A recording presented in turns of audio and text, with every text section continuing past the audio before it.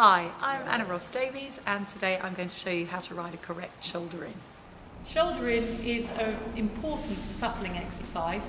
It requires the beginnings of the collection and the horse taking more weight on the hind legs, which helps develop the work for high level dressage.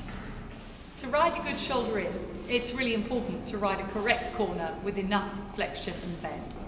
When the horse is in shoulder in, he's on what we call three tracks, which means that his outside hind leg is on the normal track, going straight.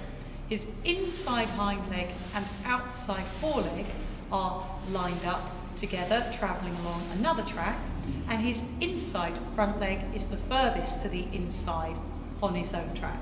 So if you look from the front, it looks as though the horse's legs are forming three lines. The horse should be at a 45 degree angle from the track and not more.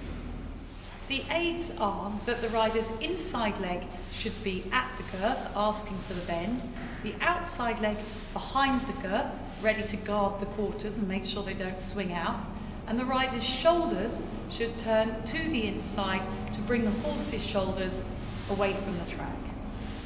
A good way to set up a shoulder in is to ride a circle in the corner first. That way, when you return to the track, you can shoulders as though you're going to continue on the circle and then give a little half halt with the outside rein so that the horse continues travelling down the track. Here's my final tip for riding your dressage test. It's really important to remember that almost all of the movements are marked out to 10, and that includes the easy ones as well as the harder ones. So if you want to really pull your marks up, practice the easy movements just as much as the hard ones, as those marks are easier to get. I'm Anna Ross Davies, thank you for watching and I hope you've enjoyed learning about dressage today.